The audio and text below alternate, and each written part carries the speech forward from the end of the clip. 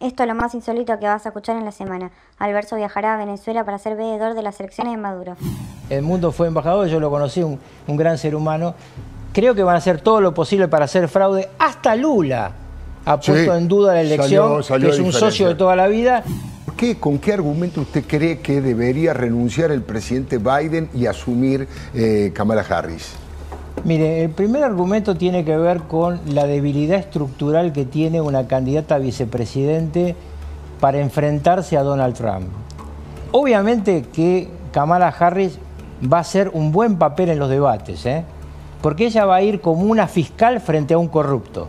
Este el planteo que va a hacer, desde ya le digo, Esa Kamala es su Harris, táctica, su 10 de septiembre, el próximo debate presidencial, ella se va a parar a decir, yo fiscal de California, encontré muchos corruptos como vos y lo va a encarar. Pero esto no alcanza para ganar una elección. En los Estados Unidos, y esto me canso de decirlo porque veo encuestas acá en la Argentina que no tienen nada que ver, no importa cuántos votos saques, Claro, claro. lo que importa es cuántos estados ganás.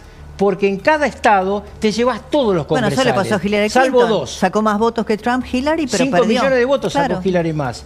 Eh, pero salvo en Nebraska y en Maine, uno se lleva a todos aunque gane por un voto. Ya. Entonces, ¿qué está pasando hoy hasta que llega Kamala? Que hoy Donald Trump y Vance están ganando ya la elección. Ya. Entonces hay que remontar una cuesta. Yo digo, el presidente Biden, ¿por qué se retira? Porque realmente no está en condiciones de ser candidato. Porque está mal. Él está for fight, como decimos acá, no a cococho, for fight. Entonces, yo lo que digo es, si él renuncia, ustedes imagínense, pónganse en el lugar de los norteamericanos. Asume Kamala Harris en el Capitolio, con la pompa y circunstancia que los americanos le dan a una asunción presidencial, Claro. con la gente en la calle, con la movilización.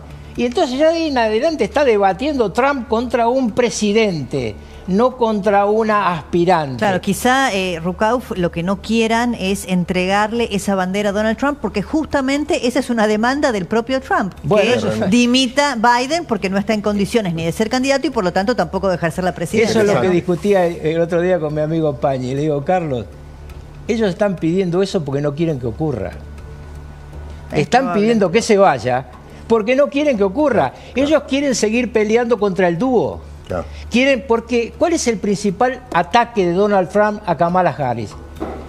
Biden le da a él la tarea, a ella la tarea de la inmigración, un tema clave en la campaña de Estados. Unidos. Entonces le dice, fuiste un inútil como es un inútil él. Domingo hay elecciones trascendentes en Venezuela con alto impacto para la región y además para Medio Oriente, para Europa, eh, la posibilidad de la caída este, eh, de, de perder en las urnas que tiene Maduro es bastante compleja, eh, digamos, bastante concreta, mejor dicho. Eh, muy, muy cortito, por Inme- favor. inmensa ventaja del candidato, de la verdadera candidata que es Chamorro, eh, fue No, embajador en- María Corina, María. Corina Machado. Machado, Sí. eh, eh, fue embajador aquí. El mundo fue embajador, yo lo conocí, un, un gran ser humano.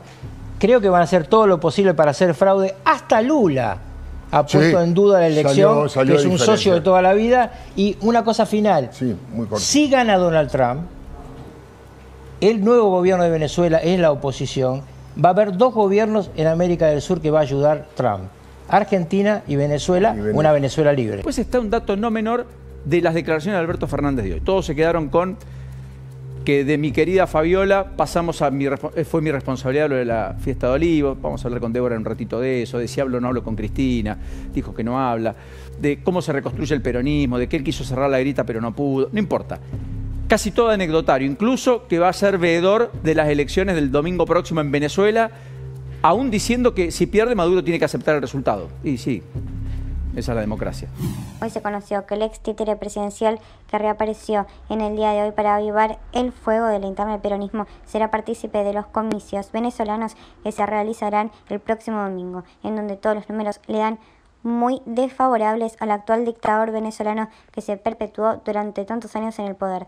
A raíz de esto, Alberto Fernández será uno de los veedores para supuestamente brindar transparencia. Sin embargo, hay que recordar que fue uno de los grandes aliados durante su desgobierno, por lo que no tiene una posición neutral y en caso de denunciarse irregularidades podría mirar para otro lado. Maduro está tan acorralado que hasta el zurdo de Lula da Silva, que es un degenerado fiscal y comunista acérrimo, ya le advirtió que si llega a sufrir una derrota tiene que aceptarla. En los últimos días el payaso bolivariano arremetió contra el presidente Milei porque es uno de los personajes que más terror le genera, ya que con su batalla cultural hay muchos venezolanos que sintieron esperanza para cambiar su país y hasta aparecieron spots muy similares de campaña.